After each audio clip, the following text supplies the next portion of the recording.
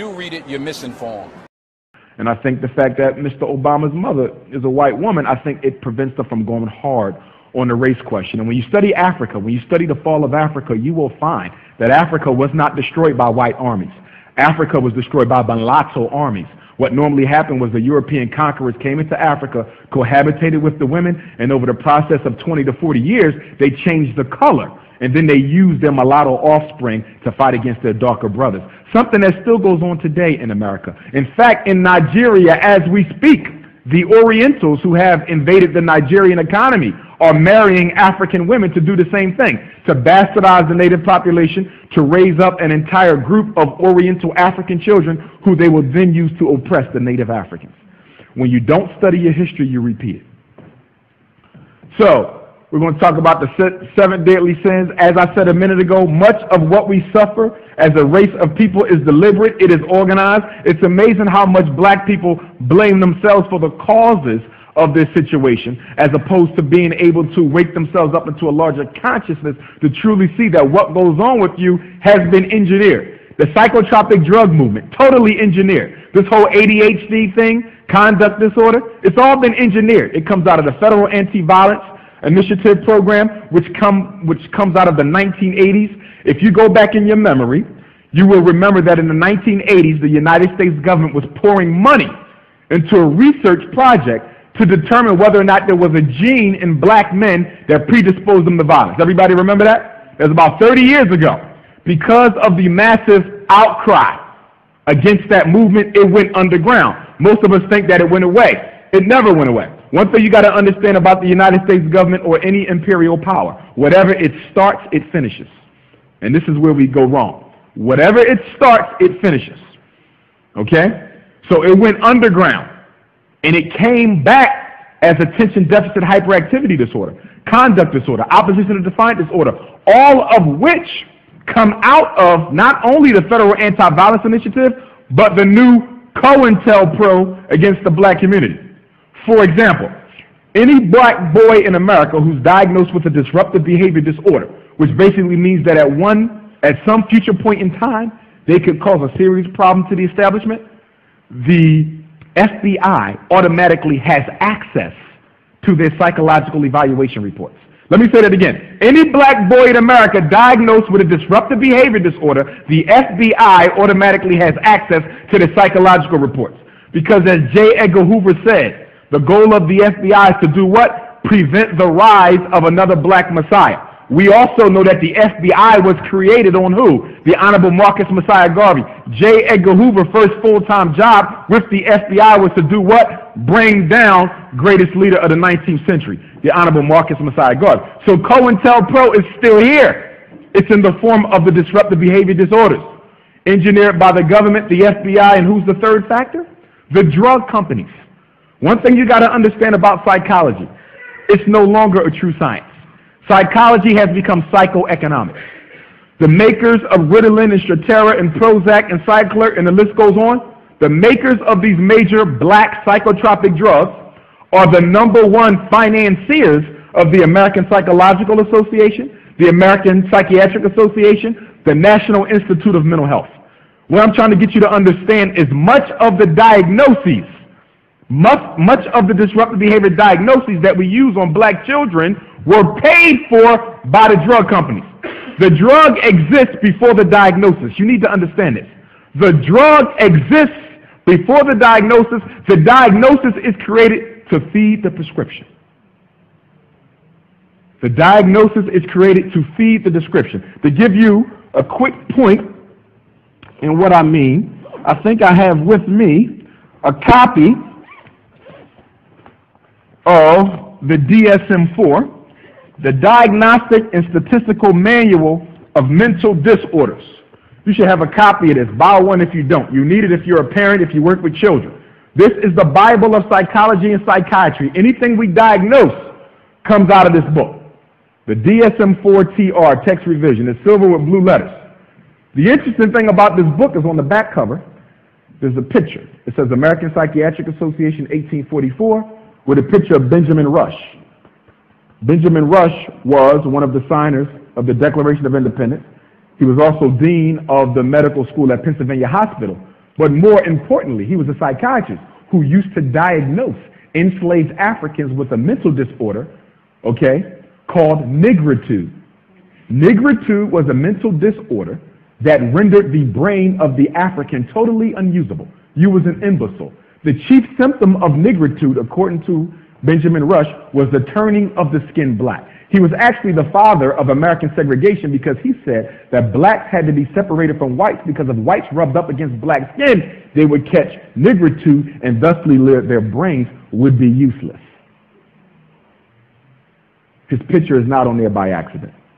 But I want to flip to ADHD real quick to give you a quick point and what I'm talking about as it relates to. Okay. This is attention deficit hyperactivity disorder. I'm going to give you some of the chief symptoms. Listen to this. Often fails to give close attention to details. Is careless in schoolwork. Has difficulty sustaining attention in task or play. Often does not seem to listen when spoken to directly. Often does not follow through on instructions or fails to finish schoolwork, chores, or duties in the workplace. Often has difficulty organizing tasks and activities often avoids, dislikes, or is reluctant to engage in tasks that require sustained mental effort, such as schoolwork or homework, often loses things necessary for tasks or activities, is often easily distracted by extraneous stimuli, is often forgetful in daily activities. Who in here does this not describe once in a while? Do you see what I'm talking about? I want you to understand why so many of our boys are being diagnosed with this made up disorder that they don't even have because the criteria are so general that any human being on any day of the week can get the diagnosis. Now, trivia question of the day. There used to be something called attention deficit disorder in this book. It was taken out.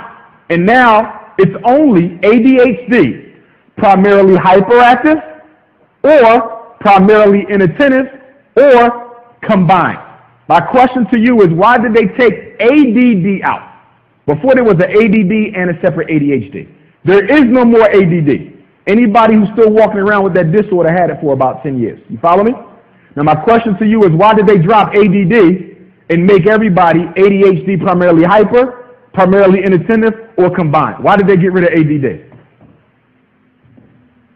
Anybody want to take a crack? Yes, sir.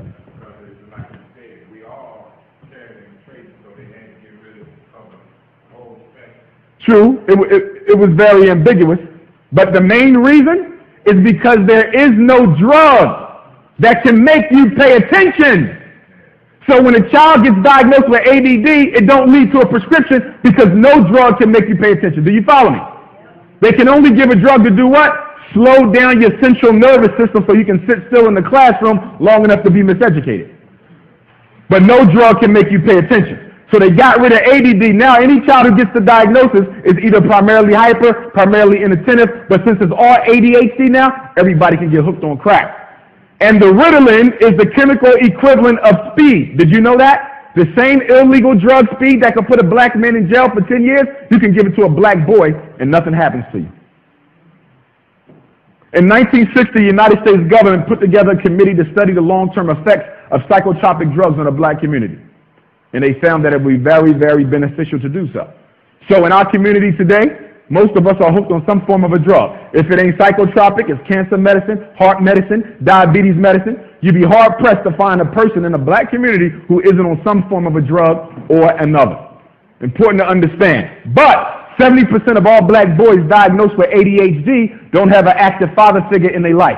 Since the beginning of time, you know that when you don't get the attention from your father at home, you go to school looking for it. That's been around forever. But 30 years ago, it wasn't ADHD. But now you have people getting paid off black parents' inability to raise them sons in the absence of the father from the home. Most of them don't need nothing but a man in their life.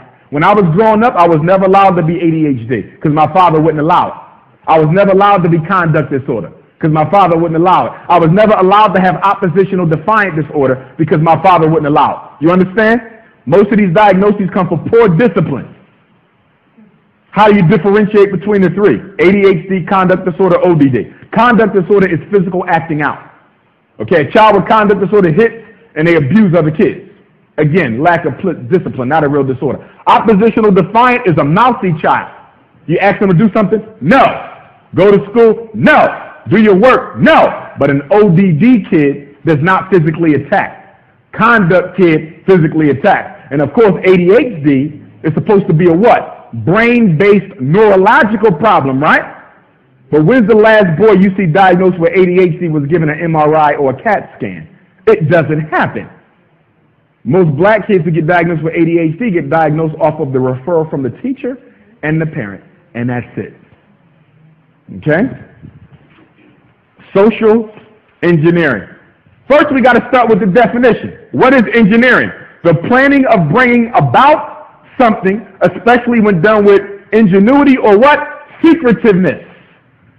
This is the dictionary definition. An engineer a planning of bringing about of something, especially when done with ingenuity or secretiveness. What is genocide?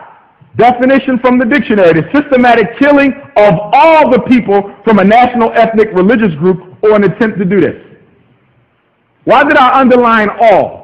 The reason why I underline all is because there are a lot of Africans, not just in America, but all around the world, who think that if they dress a certain way, or talk a certain way, or live a certain way, or drive a certain way, or marry a certain way, that somehow the dominant structure of this society will forget that they're African. And anybody who believes such a thing doesn't totally understand white supremacy and how it operates.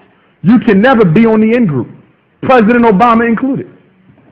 I predict right here in front of you that when he's no longer president, you're going to see a whole slew of negative information about that man come out. Why? Because it is the arrogance of white supremacy that cannot tolerate any black person who thinks that you've been accepted by the in-group. It cannot happen. Look at O.J. Simpson. He thought he was on the in-group. Deadly sin number one. Let's talk about abortion.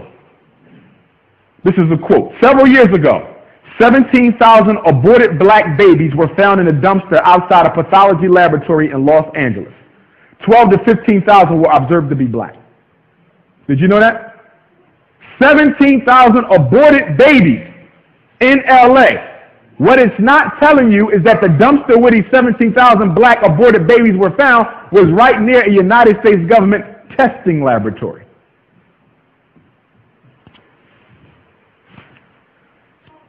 The United States still has not ratified the 1948 United Nations Genocide Conventions, which made crime of genocide an international crime. Why has the United States government not ratified that document from the Geneva Convention pertaining to genocide?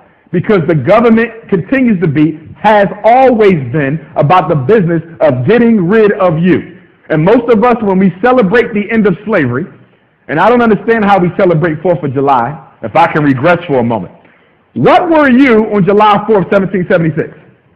you were a slave. And you didn't get your freedom, not with Lincoln's Emancipation Proclamation, which he made in 1862. It went into effect 1863. That didn't free you. That only freed who? Slaves in states that were currently in armed rebellion. So if Jefferson Davis and the Confederacy had already withdrew from the United States of America, when Lincoln said you were free, did it mean anything? No.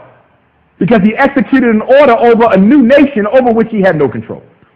And then in 1865, it still didn't matter.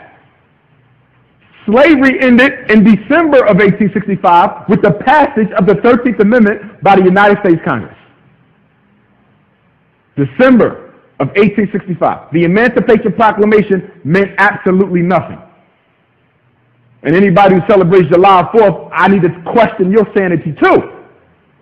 Okay? Because you celebrate the freedom of your former conqueror, colonizer, and slave master, but you didn't have yours yet, and you still don't today. Where's your supermarket? Where's your planes? Where's your ships? Where's your submarines? Where's your hospitals? Where's your multinational corporations? You don't have none, but you'll say you're free because you drive a nice car with big rims on it. Okay? But what do you control? And one of the things we thought to realize black people say, like in Philadelphia, you probably all heard we had a situation where a group of black campers were told that they couldn't swim in a certain pool. They gave the check back and said, I got to go somewhere else. And people say, well, I thought this was over. One thing you got to understand about white races is never over until every last one of you are gone. HIV is not an accident, good people. HIV is what? A strategy for what? Population control. Abortion is a strategy for what? Population control. Ebola, West Nile. In AIDS, they would have you believe what? Where did they say AIDS come from? To this day, where are they saying AIDS come from? A monkey in the Congo. Listen. And this is the official line of the U.S. government. A monkey in the Congo, Central Africa, which is the richest piece of real estate on the face of the earth. Let me say that again. That's why there's so much fighting over there, which is engineered by Western nations. So while we fight against each other, they run out with all the wealth. They do it here, they do it in Africa, they do it in the Caribbean. Because black folks, if there's one thing you can be count on, is to hate one another and fight one another. That is your international reputation.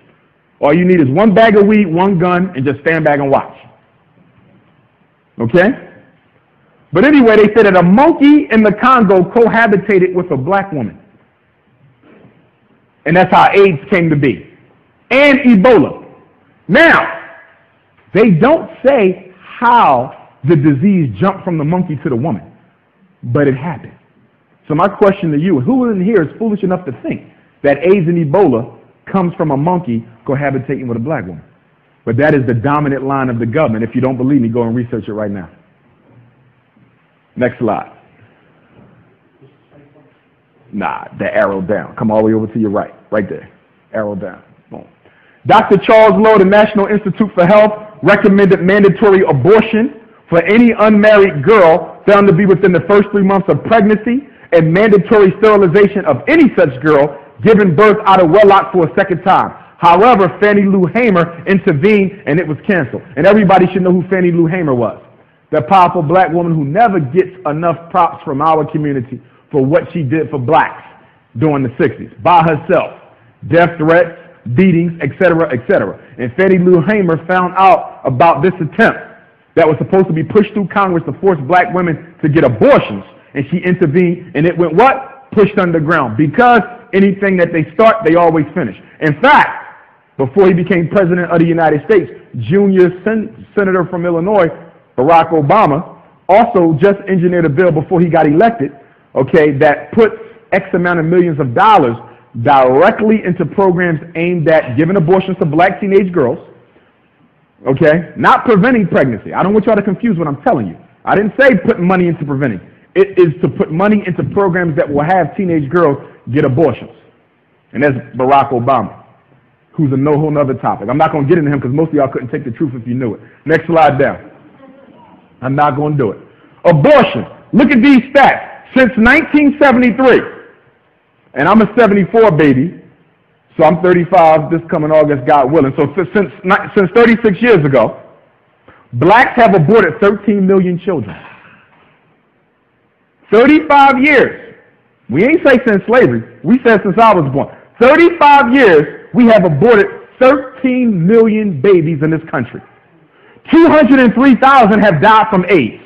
306,000 were killed by violent crime. 370,000 killed by car accidents. 1.6 million black babies, people, have died of cancer. 2.3 million blacks have died of heart disease. And the winner is abortion.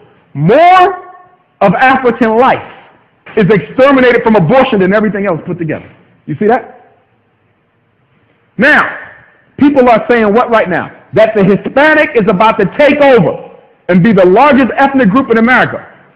Yes, because you keep killing your babies. Had it not been for them 13 million abortions, the Hispanic would not be outstripping the African. But I don't want you to focus on that anyway. Because what is a Hispanic? The word Hispanic comes to us when? In 1970. By who? The United States Census Bureau. For what purpose? To divide African people on lines of language so people who speak Spanish who don't want to be black don't have to say they black. Did you just hear what I said? There are Puerto Ricans darker than anybody in this room. And there are Africans lighter than any Puerto Rican. My great grandfather on both sides of my family tree were Spanish speaking Cubans. If I wanted to, if I didn't have pride in race, I could easily call myself a Hispanic, go learn some Spanish, and I can go and hide in the other camp.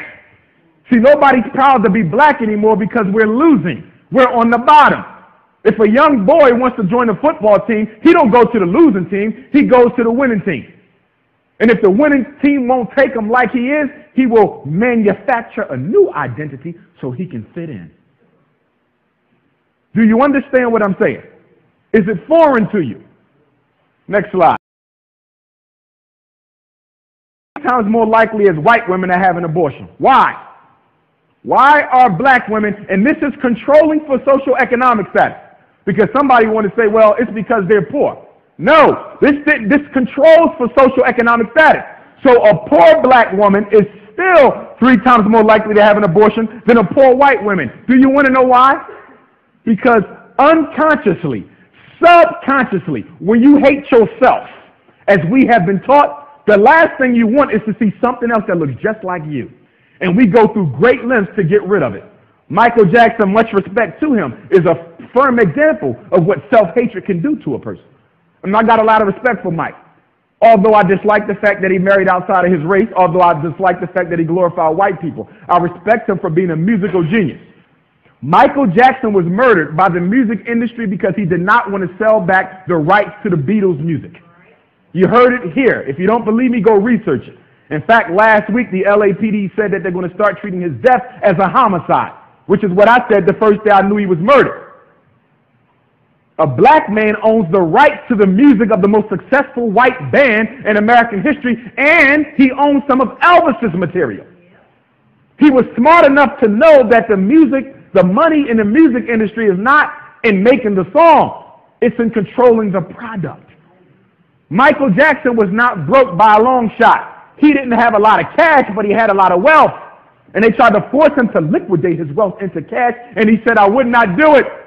So when he was offered to do 50 concerts in Europe, nobody knew they would sell out in one day, a million tickets in less than 24 hours. But because it did, that was going to allow Michael Jackson the opportunity to make the 400 million that he was in debt for, pay it off, and keep the rights to the Beatles music. So if they wanted to get the catalog back, they had to do what? Kill him before the tour started. And that's exactly what they did. It's the same thing they did to Sam Cooke after he told Malcolm and Martin that he was going to finance the civil rights struggle of the 60s. And he was the first major black artist to own his own publishing. Did you know that? Next slide. It's all social engineering. Anything I say, I can prove it. Every day, more than 1,400 black babies are aborted in the United States. Did you know that? Every day, 1,400 flushed down. Flush down. But some of y'all still ain't convinced, so we're going to keep going. Next slide.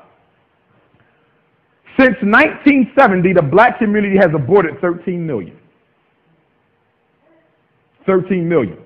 The reason why the so-called Hispanic, which is nothing but a Spanish-speaking African, is about to outstrip you is because they keep their babies. Yes, they do get abortions. They do. You understand? But because the menticide on them was not as severe as what was visited on you, they'll have a house full of 15 and be proud as hell. You have one more than two and you start looking like something wrong with you. They keep theirs. You get rid of yours. Next slide. You say that I don't have the money to take care of this child. But last time I checked, babies have been raised in the black community without two pennies to rub together since the beginning of time. Can I get an amen?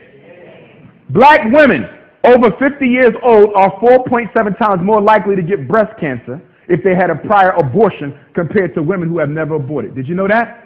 This has been a scientific secret for years that there's a direct link between abortion and cancer and black women.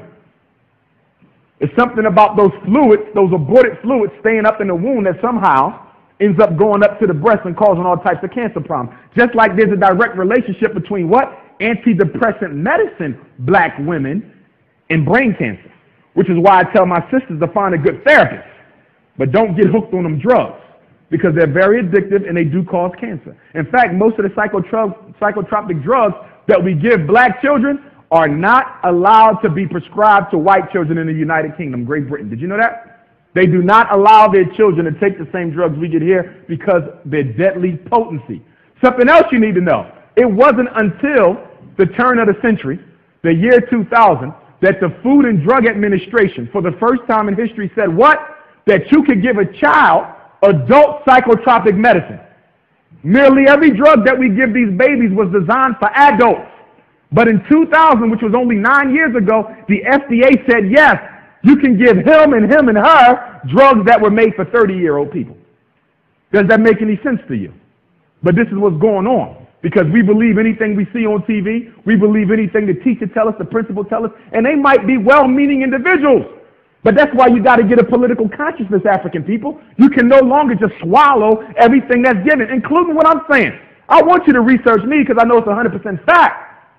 But the reason why I need you to research me as well as everybody else, because if you just accept what I say and don't research it, you'll accept the next man. I'm telling you the truth, he might be lying. So you got to get in the habit of questioning everything, especially what you see on CNN. Next slide. Black race versus white race. Black women abort 472 babies per every 1,000 black babies born. White women abort only 161 per 1,000. In fact, they love recreating themselves so much that they'll take fertility drugs and everything else to have more. You'll take fertility drugs so you can have none.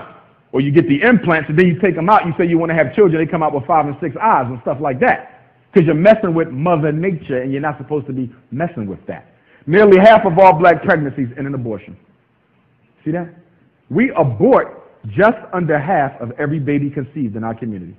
And it is a product, not that you ain't got enough money, it's self hatred. Same reason why black men marry white women self hatred. And if you don't believe me, go to Frantz Fanon book, Black Skin, White Mask. You should know Frantz Fanon, one of the greatest psychiatrists that ever lived. You ain't got to debate me, debate him. He's the master. Okay? Next slide. And I want to be clear. When I say that black men need to marry black women, I don't say it because I look down on white women. Okay? Women are equal, men are equal. No race is better than any other race. But men die sooner than women.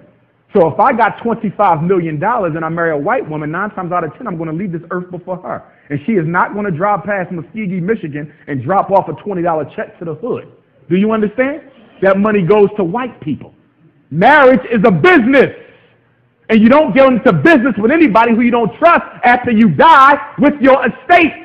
So we got to keep black money black, and that's why a black man got to marry a, a, a black woman. It's that simple.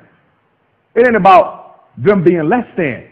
It's about us remembering who the hell we is because we forgot. The queen mother of black abortion is a white woman. Did you know that? This woman, Margaret Sanger, was a part of the eugenics movement, which did not start with Hitler. Guess where Hitler got his ideas from? The United States of America. Did you know that? Yes, all he did was take what American scientists have taught him and then he used it. Margaret Sanger created Planned Parenthood in the 1920s to rid America of unwanted black babies. Planned Parenthood, 1920s, the same time that the Garvey movement began to take off. She specifically said herself that Planned Parenthood was designed to eliminate black babies who were becoming a pesticide or appendage on the white economic order. Next slide. Planned Parenthood rarely recommends adoption over abortion to black mothers. The research is clear. When a black woman goes to Planned Parenthood, get rid of it. White woman goes to Planned Parenthood, why don't you think about abortion? Excuse me, why don't you think about adoption? Why is that? And we got to deal with the adoption issue in the black community too because we are not adopting our children as much as we need to. In fact, you know what? Nobody wants black children. Okay? I work with DHS nationally. I know this. The hardest child to get adopted is the black teenager. If they're more than 12 years old, you don't want them, the white folks don't want them, nobody want them. The easiest child to get adopted is an infant. But once a black child hits 14 years old, nobody wants to be bothered with them anymore. So our children are languishing in the system. So everybody in here need to think about adopting one. You ain't got to do it now, but you need to do it. Even I feel like I'm going to need to adopt as well because nobody's taking our babies. In fact, people of other races who want to adopt, you know what they do?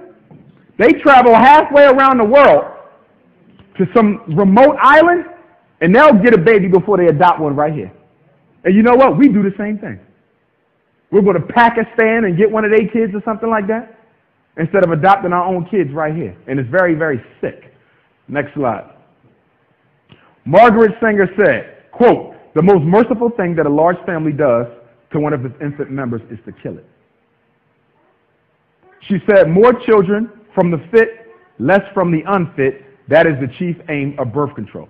She said, We do not want the world to go out that we want to exterminate. We don't want the word to go out that we want to exterminate the Negro population. This is her word. I'm giving you her, the mother of Planned Parenthood. And do you know that Planned Parenthood sites are disproportionately located inside or right next to black communities? Did you know that? Nationally. Now, there's more white people than black people. We only, what, 17% of the entire populace.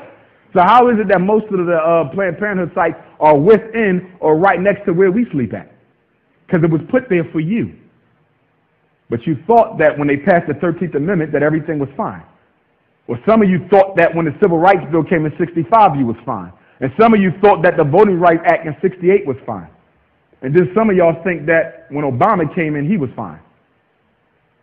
Never mind the fact that he's against an apology for slavery, or he's against affirmative action, or he's against reparations. Never mind the fact he's against everything Martin Luther King died for. But y'all got his face right next to King's on your shirt. King is turning around in his grave.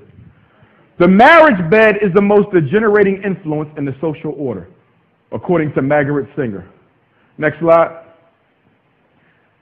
If your parents are stupid enough to deny you access to birth control and you are under 18, you can get it on your own, called Planned Parenthood. Most states have stripped away the rights that parents have over their children's lives. It's a national movement.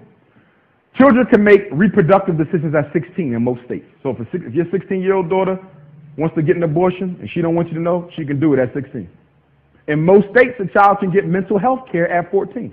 If your child wants therapy, if they want to check themselves into a drug and alcohol rehab, they can do it at 14. Okay? This has been going on systematically. It's reducing the true age of adulthood without saying it. And if you want to fool a black person, all you got to do is put it in the words because we don't analyze anything. All we do is take what somebody tell us on TV, magazine, and you run. Okay?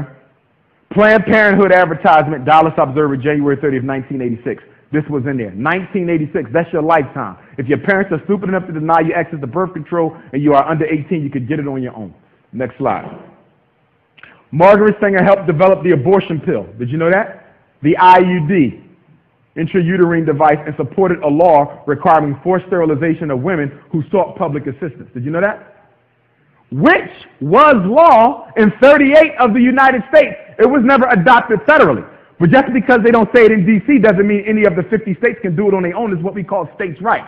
Did you know that? Up until the 80s, a significant portion of states in this union, if you got public assistance, you were also sterilized. We thought they were only doing it in Africa and in the Caribbean. It was right here. I'll give you one better. I'll give you one better.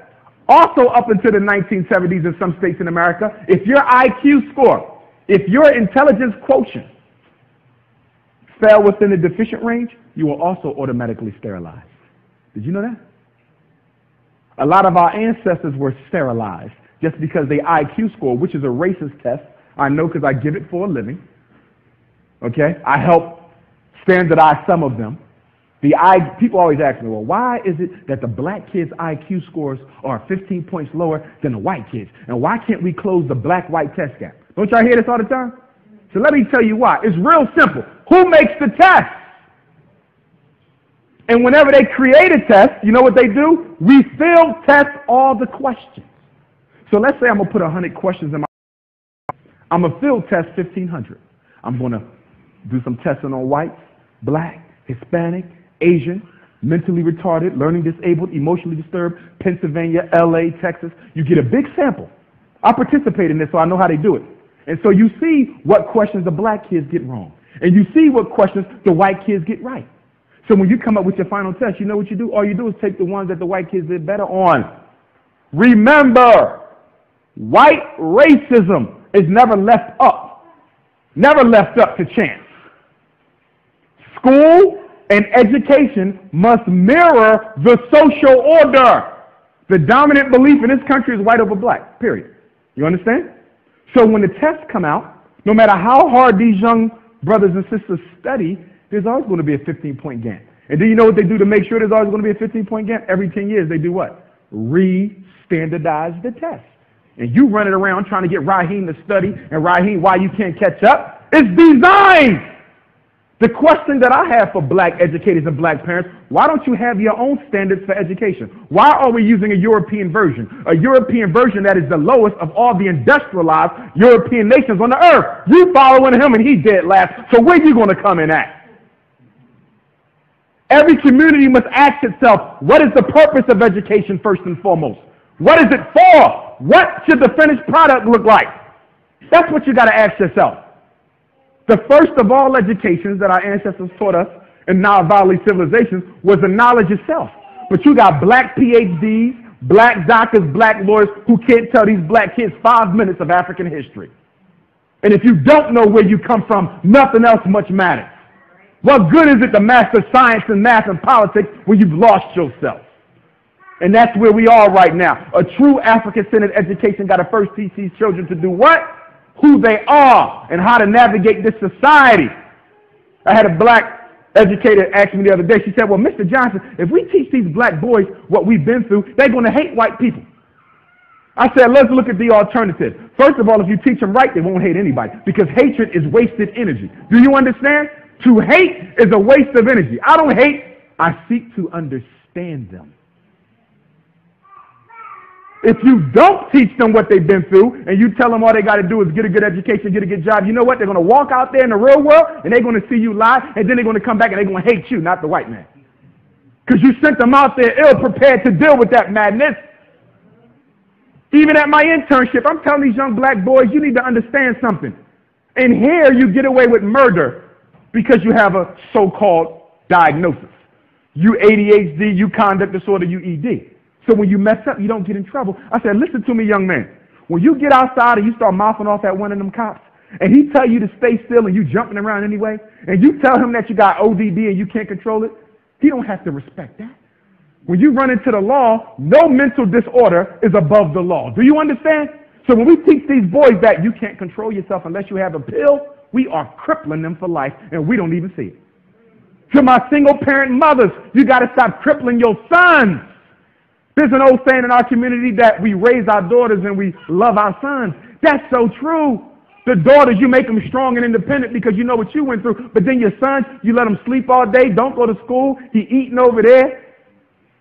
He ain't even got to go to school, just football practice, no discipline in the house. And we wonder what's going on. And brothers, we got to step up. Even if you got a son of your own, this should be, every brother in here should be accountable to one other black boy that ain't his child. It takes a village to raise. And we are being so selfish. When I give educational presentations, you know what bothers me? When somebody comes in and says, you know what, I don't have no kids, I don't need them. What you mean you don't have no kids? In the African tradition, every child belongs to the race. There is no such thing as mine and yours. Do you want to know why? Because if my seven-year-old daughter grows up and she's 18, and you didn't properly raise your son, and he grows up and he's 18, he might rape, molest, or hurt my daughter. Now whose business is it? There's no clear separation amongst families. We're one group of people. And I don't know what we think we hiding because everything we're doing we done did for the last 20 generations, which is bow down to other people. Next slide. The active ingredient. Now we're talking about chemical dependence. You know what's interesting about cocaine? Do you know that cocaine was brought to America by European scientists to give to enslaved Africans so that they could work longer on the plantation? Did you know that? Cocaine was brought here for you, and they want to lock everybody up for it when they brought it here. Marijuana was brought here for you. And the first law against marijuana came into creation because it was believed that when black men was intoxicated with drugs, they would go around and violate white women. Look at that. Crack and weed. The history starts with you. But the active ingredient in cocaine was isolated, brought to America during the eve of the Civil War, given to slaves to help increase their productivity. Cocaine was brought to America for black folks. Next slide. Also, you need to know that every drug in America was once legal at one point. Did you know that? Heroin, opium, crack. Every drug in America was once legal. They pick and choose what is illegal based on what? Social engineering. Which ones do the blacks use? Which ones do the white use? Look at Bill Clinton. Mandatory minimum five years in jail for five grams of crack. But if you smoke powder, you need 500 grams to get a mandatory minimum sentence of five years. Now, as a psychologist, I know that crack and powder exert the same damaging influence on the human psyche. Both of them have equal addictive power. Do you understand? So why is it that if you sell five grams of crack, you get five, but you need 500 grams of powder to get five? It's called picking and choosing who you want to lock up. It's that simple. Although only 12 to 20 percent of the U.S. population, blacks account for more than half of all whiskey and malt liquor sales. Cadillacs too. And then they talk about reparations and they say, well, we need, yes, we're entitled to reparations, but Umar Abdullah Johnson does not think we should be fighting for it right now. Do you want to know why? Because the black community is totally disorganized and your leadership is very weak and self-serving. If the United States government called black leaders to the White House and said, we got a $5 billion check, half them Negroes going to run off with half of it and give you the pennies. And because you don't own your own stores, banks, hospitals, in 48 hours, that money be right back where it came from. Do you understand? Because the black dollar does not circulate one time in its own community. The first time you pull your dollar out, you give it to somebody else. The Jewish dollar goes through 20 times. The European dollar goes through 13 times. Even the Oriental dollar, and it ain't even but so many of them in these United States, at least goes through five times. Why does our dollar only go through once? And you want reparations? It's going to end up right back in their hands. You're going to run out, get a car with some rims on it, get some blonde hair, go date some white woman. You know what you're going to do. I know what you're going to do. Because your whole mind has been engineered from the outside. You think you're special. Next slide. Unfortunately, black media outlets are willing to sacrifice good journalism for profit as many black media outlets run dozens of advertisements for what? Cigarette and liquor companies using hip hop to entice young black teens to use their drugs. And the government even allows the cigarette companies to sell their drugs using cartoons. Now, who do you think they target in the cartoon for? Do y'all follow me? Anything you see on TV desensitizes you to the effects of it. That's how you control the people. It's called propaganda. And if you've never read a book on propaganda, go and get one. It is the deliberate controlling of people's minds through the images that you saw. CNN, C-SPAN,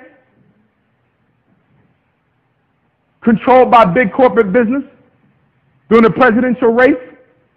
Obama, I told people Obama would win soon when he got in the race.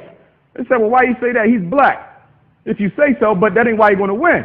He's going to win because he was chosen back when he was at Columbia University as an undergrad. Do you know who Obama's undergrad advisor was? A man by the name of Zbigniew Brzezinski. Do you know who Zbigniew Brzezinski was? He's the man that the Rockefeller family paid in 1973 to create the Trilateral Commission and the Council on Foreign Relations. You got to study this stuff, black people. Study it. You ain't going to get nothing new from him. It's the same old thing. You'll see in eight years because y'all not convinced yet. Next slide. Tobacco and liquor are drugs. Cigarettes and alcohol kill more blacks every year than cocaine and marijuana. Let me say that again.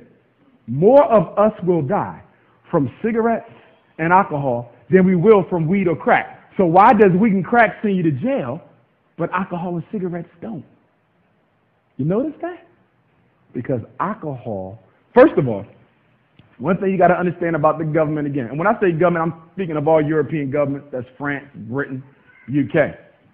Do you know that illegal drugs and legal drugs are made by the same people? Did you know that? Do you know that illegal drugs is worth $500 billion a year to the United States economy? Without illegal drugs, Wall Street would crash. Why did America go into Afghanistan in 911? Was it to make the world first safe for democracy? It ain't safe here. Because Afghanistan is the number one poppy producing country on the face of the earth. If you don't believe me, go and look it up. The Taliban have burned all the poppy seed in Afghanistan. And former Secretary of State Colin Powell went over there and gave them a $50 million grant which was reported in the New York Times. Why would the Secretary of State for the United States be giving the Afghani people $50 million to replant poppy seed so America gets its supply? And Wall Street would fall without it. You don't need a computer every day. You don't need a car every day. You don't need a toaster every day. You don't need a video game every day. But crack, you need. So they funnel the drug profit through Wall Street so Wall Street can stay afloat, good people. The number one business of America is drugs. What made America big? Tobacco and hemp. Hemp is nothing but marijuana. Do you know more hemp was grown in America than any other crop during the Revolutionary period?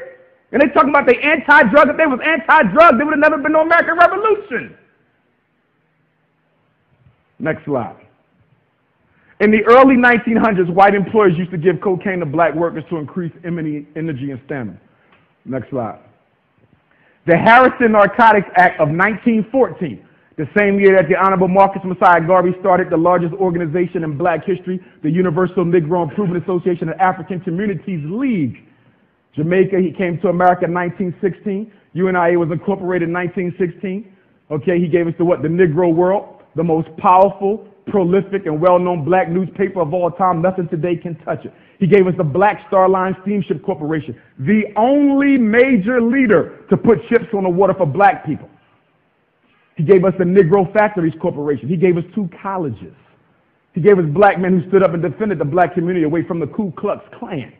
And do you know who helped to bring down the honorable Marcus? And most of all, he gave us the what? Red, black, and green flag, Madison Square Garden, 1920. That flag we did not have before Garvey. And the significance of the flag is this. Prior to the first International Convention for Negro Peoples, okay, black people had no symbol to represent them universally as a race. In fact, there was a very popular song that said, every race has a flag except the coon. Coon is another word for the N-word. And Marcus Garvey said, we're going to do something about that. But jealous black leaders like W.E.B. Du Bois, who I respect for the good that he did, A. Philip Randolph, who I respect for the good that he did, and others conspired with the United States government to get the Honorable Marcus Mosiah Garvey locked up on mail fraud charges claiming that he falsely advertised stock for his Black Star Line Steamship Corporation in an empty envelope that was believed to have had something in it to incriminate Garvey that they could never find, which was owned by black man who claimed he used to work for Marcus Garvey, that Marcus Garvey never saw a day in his life. And the presiding judge at the Garvey trial was an NAACP member and friend of W.E.B. Du Bois. Garvey gets deported in 1927 and 1930, the Nation of Islam. 1930, you get the rebirth of the Moorish Science Temples. You get Father Divine, you get Daddy Grace. From Garvey, we get Malcolm X. Malcolm's father was killed because he was chapter president of the UNIA. Malcolm's mother used to write poetry for the Negro world. The Black Hebrews, J. Arnold Ford, who's one of the fathers of the Black Hebrews, wrote the universal African anthem for the Garvey movement. There is no black leader you get, I care not who you name, who did not take a page out of Garveyism. And that's not a slight, because everybody comes from something. Garvey wasn't the first person who said your God better look like you. That was Bishop Henry McNeill Turner. He wasn't the first one who took a ship to Africa. Paul Cuffe did that. Martin Delany did that. The Liberian Exodus Joint Stock Steamship Corporation. I'm telling you to study your history. You got to be able to sit in a chair, sit your children down, sit your grandchildren down, and give them the history out of your mouth. We call it the oral tradition. And the reason we can't follow it no more because we stopped studying who we are. And so one of the things I try to prepare black kids for where I go is to know their history because when they get to college, them white kids know who they are. Them Oriental kids know who they are, and they're going to start talking about history, and we're going to start talking about sneakers. Hip hop culture. How could it be a black culture when the whole thing is controlled by white people? There's not a rapper you can name who own their own publishing. Not one. To my young black men here, Roc-A-Fella's not no label. Roc-A-Fella's owned by Def Jam, and Def Jam is owned by Universal. Don't know black people sit on the board at Universal. G Unit is owned by Eminem, who's a racist. And he's owned by Aftermath, and Aftermath is owned by Interscope. That's a Jewish corporation. Don't know black people own Interscope. What's wrong with us? And we got our kids running around thinking these Negroes out here got some power. Black culture. Yeah, right. Next slide. Blacks drugs in the United States government. Marijuana was banned for the same reason cocaine was, as it was believed to cause a violent effect on degenerate races i.e., black men would attack white women, which was not true. Next slide. CIA, Cocaine Import Agency. Did you know? Did you know that the CIA was started by a Wall Street banker Why would a Wall Street banker be interested in starting the Central Intelligence Agency? Because everybody knows that the job of the CIA is to oversee drug trafficking. Yes, you can sell drugs in America if you have permission from the government. Do you know why they was going to invade Colombia? Who can tell me why they was going to invade Colombia? Because they didn't want to funnel their money through Wall Street. The Colombian drug lord said, uh-uh, we can handle this ourselves. And they said, well, you, this is against the government. The world is nothing but gangsters and thugs. You fail to understand this. Why do you think the atomic weapons are so big? Because America got one, the UK got one. So what's that, uh, North Korea? Well, y'all want to keep picking on me? I'm going to get one. Now what? Now everybody got their hammer out. Because the only way to protect yourself in these days and ages is through power, organized strength. But the only time you can get black people together is for the Super Bowl or the playoffs. Or Obama inauguration. Next slide. Why was the CIA founded by Wall Street banker to oversee the laundering of drug profit? Next slide. Harrison Narcotics Act, the year Garvey started the UNIA. Look at this. Did you know that Ritalin is a type B drug? This is the Drug Enforcement Agency of America. This ain't Umar Johnson. Why would the United States Drug Enforcement Agency put Ritalin, the number one selling anti-stimulant in the world, why is it classified as Schedule B? You know what that means? That means it's just as addictive as crack. According to the government, Ritalin is just as addictive as crack. Look at this. Crack, ecstasy, cocaine, opium. Class B, amphetamines, barbiturates, those are speeders. Class C's is steroids. Ritalin goes up here, Class A, excuse me. It's a Class A drug. Next slide. Kids even sell it. In the schools where I work, they sell they psychotropics so they can get high because that's one of the side effects. And we know Xanax. Xanax is crazy in the hood. Everybody's selling their Xanax. Okay? Black people don't want to deal with the reality as we see it and fix it. We just want to escape, so we just want to beam on up.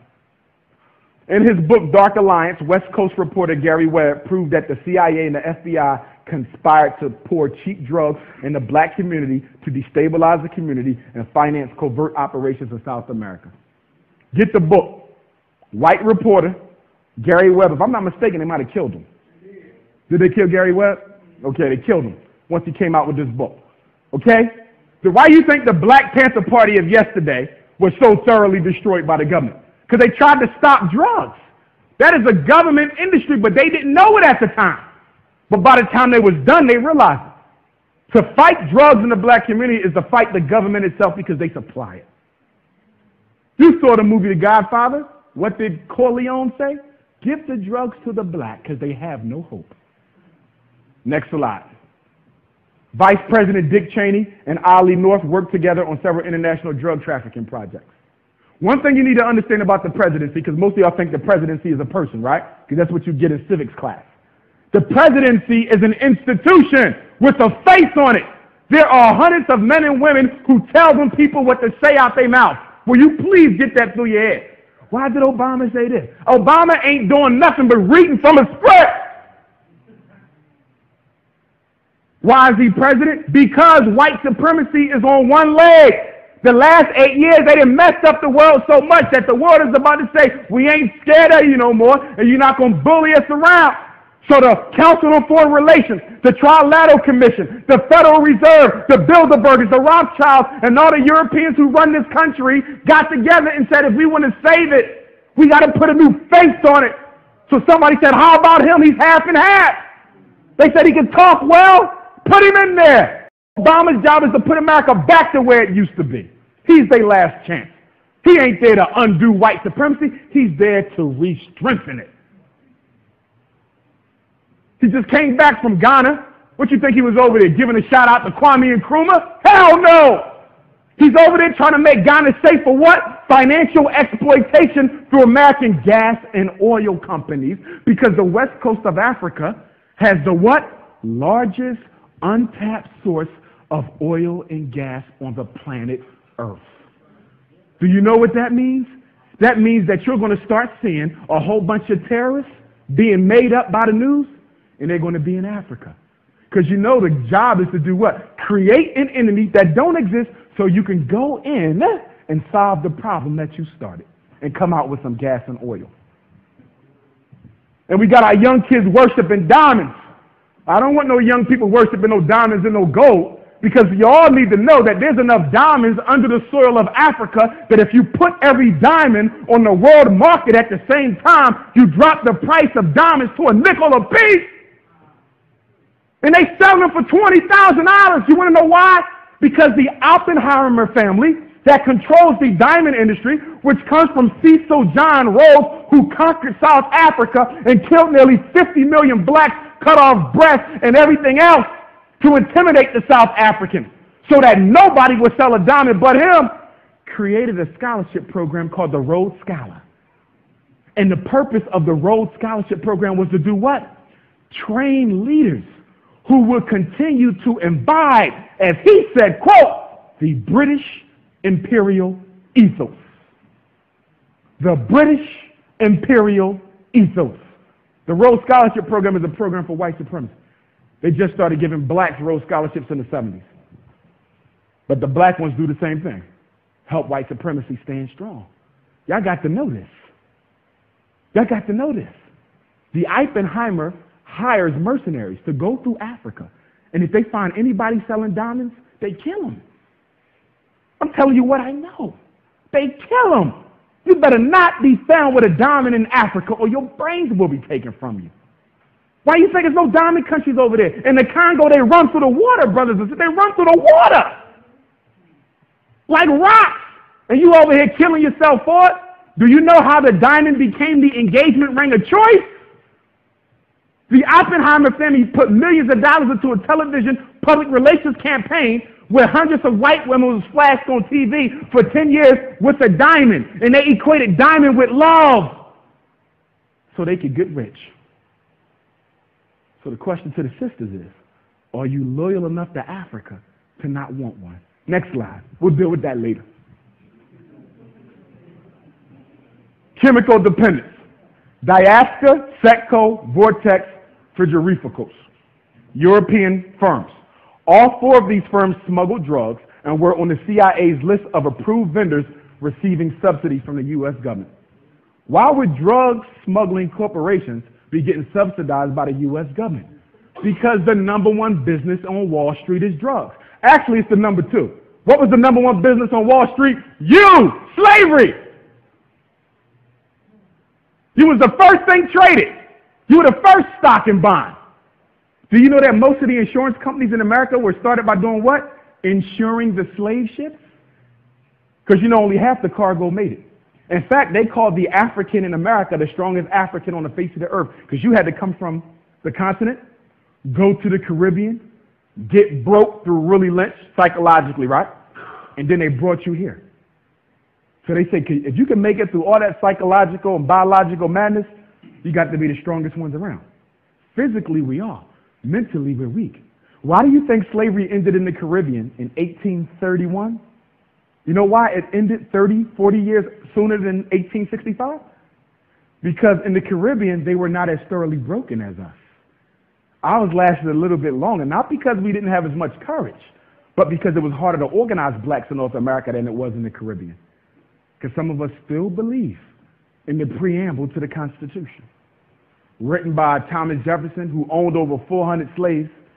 He got a million and one kids running around with his last name. And the white side, I don't know if y'all heard about this, the white side don't accept the black side, and they won't allow any of the black descendants of Thomas Jefferson to partake in his vast estate. They say we don't recognize them. They were slave babies.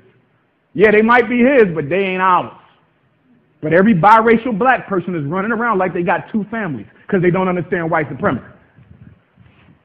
They don't understand it. You're pure blood, Anglo. That's it. Any mixture, take it home. Next slide. The FBI and the CIA have undercover police officers in every major city in the United States to supervise the inner city drug trade. Did you know that? There are people in the Muskegon, Michigan Police Department who are undercover officers. The district don't even know to make sure that no, none of you revolutionaries go around trying to mess with the weed and the crack sales because you're messing with Wall Street. Next slide. A recent Philadelphia Daily News article ran a story on a police officer who had a poster in his locker that read blue by day, white by night. You have the Ku Klux Klan and you got the Blue Klux Klan. B-L-U-E. Blue Klux Klan. Next slide. The United States government relies on its policies to intimidate and interrogate innocent blacks as a means of enforcing fear of the state. This role was once occupied by the slave driver. Now the police own it. And anybody who know the history of the police know that who became the police? The police became the, the slave driver class, the uh, overseer class, also the Italian and the Irish immigrants who couldn't stand blacks because they said we was taking their jobs, went right into the police force. The same people who were lynching you for 100 years can now beat you legally with a badge. Next slide. But don't believe me. I want you to research this now. Rodney King syndrome. Can't we just all? Since the 1990 police beating of Rodney King, followed by riots, worse acts of police oppression have occurred with very little outcry from the black community. It appears that the black community has now become numb to police misconduct. We don't do anything about it. Another one beat up by the cops. Next slide. Police brutality. 2006, 2007, the Philadelphia police shot 82 civilians, most of them black, killing 37. Yet, since 2005, only 11 police have been shot by civilians, with two being killed. So why do we keep hearing that police are being victimized? It ain't okay to shoot police, but it definitely ain't okay to shoot young black boys. But if only two, and we're looking at Philly, if only two were killed, but yet y'all killed 37 of us, how is it that the media is making it like the police are the ones being shot and killed? It's called propaganda. Propaganda is what? The science of controlling the way people think. I can make you like Obama, but if I ask one of you, why did you vote for him, you probably give me a silly reason. When I ask people why they voted for Obama, you know this. One person said he was handsome. Somebody else said, I like his swag. Okay? Somebody else said he was black. Negro reasons. See, those are Negro reasons. Give me a concrete reason why you voted. You don't even know. Because the news in the Urban League and the NAACP, both are white organizations, by the way, they control the way you think. And the next thing you know, you at the ballot box voting, and you don't even know why. Propaganda. Next slide. And for those of you voting for him, there's nothing wrong with that. I just want you to study him a little bit more. Okay? It don't matter whether you vote for him or not, as far as I'm concerned. Why? Because you don't pick presidents. People never did. You have never chosen a president in this country, black people or white people. The President of the United States has always been elected by the Electoral College, which is a private group of men who are put in office by the bankers who run this country to choose who they want. The United States of America is not a democracy. And if you disagree with me, I ask you to show me the word in your Constitution. Show me the word in the Declaration of Independence. Show me the word in the Michigan State Constitution. It is not there. They have played with your mind because you do not study. A thinking man can never be made a slave. A thinking woman can never be made a slave. You must question and think everything. Everywhere I go, I carry a little pad and a pen because when I hear something, I say, okay, that sounds like it kind of matched me, but I need to research that. Take nothing for granted. Get that information. Next slide. I think you skipped one. From 1998 to 2006, 2,883 people were murdered in Philadelphia. 85% of them were blacks killed by other blacks. Why do we have so much black on black homicide? Because black people hate each other. Same reason why you got just as much black abortion. It's the same reason why we don't own nothing. It's the same reason why every time you start a black organization, it falls within a couple years, unless it's run by some megamaniac, egomaniac, who uses it to get rich. Okay? Why? Because black people have no interest in themselves. We are known to fight like cats and dogs. If we try to start a movement in here right now, somebody gonna jump up and say, unless you're dealing with Jesus, I got to leave. Somebody gonna say, if this ain't Muslim, I got to go. If this ain't Hebrew, I'm out of it. If it ain't no fraternities and sororities in it, what that got to do with it? We suffer what we suffer because we African, not for what we believe. Okay? I've never known Good looking. I've never known. Okay? My color. You know what's so crazy? I was in Malawi, Republic of Malawi, Southeast Africa, who has the flag of the red, black, and green, but it's reversed. They don't even know who Garvey is. The man, Dr. Banda, who led Malawi to independence, was a comrade, colleague of Patrice Lumumba, Kwame Nkrumah. He studied medicine in Detroit or Chicago. He was a member of the Garvey. He goes back to Malawi, gives them the flag, and today Africans don't even know what Garvey is and what. It's amazing. You think we don't know who we are? They don't know either. And you want to know why? Because they can't afford the books. A book that costs you $20, go to Ethiopia, one US dollar is 42 Ethiopian dollars. They got to pay $400 for that same book. Y'all see that? They can't afford it. They can't afford the information over there. Next slide. Homicide. Blacks are no more than 20% of the population. 45% of all murder victims in 2002 were black, 91% killed by other blacks. Do you know that black men have made history as being the only human group on the face of the earth whose number one cause of death was each other? And then we make rap songs about how great a killer we are, and then we let our boys listen to it. And we let our daughters listen to it. And when he start calling the N word, you want to know why. And when she start allowing herself to be called the B word, you want to know why. Because you allowed their minds to be conditioned through music and who they hang with. And if you're the parent of a teenager and you have never invited your teenager's friends over the house